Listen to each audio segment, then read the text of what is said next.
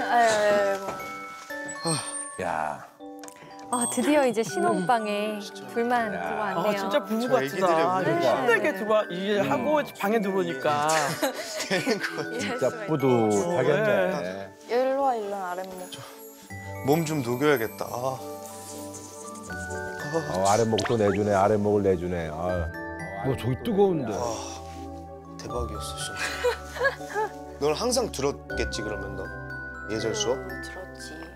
다 외웠겠다 그러면은. 외워야 돼. 너 다 외웠어 아, 지금? 외워야 된다니까? 아 그러니까 내일 내일 점심까지만 외우면 되지 뭐. 왜 그럽잖아. 아 내일 점심까지는. 그렇게 힘든 일 하면 또 친해져요. 예. 가만 있어. 그러면은 이거 나아나 짐 좀 일단 좀 꺼내야겠다. 꺼내가지고. 짐도 안 풀고 여태까지. 예, 여태까지 짐도 못 풀었습니다. 야, 정말 이런 거 좀 인정해 줘야 됩니다. 뭘 지금? 야, 차 내가 그랬구나. 야 집은 좀 풀어 했어야 안 풀고 되는데. 이랬어요. 뭐가 있죠?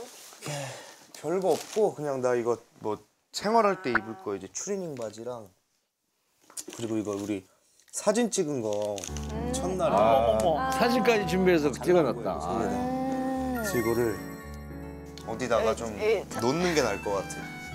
아 그때 같이 찍은 사진들 인화해서. 오 예쁘네. 어, 잘 나왔어요. 잘 나왔지. 어, 잘 나갔네. 세 개를 액자를 딱 세 개를 딱 쭈르고 놓고 보는데 아, 뭔가 새로운 가족이 생긴 느낌?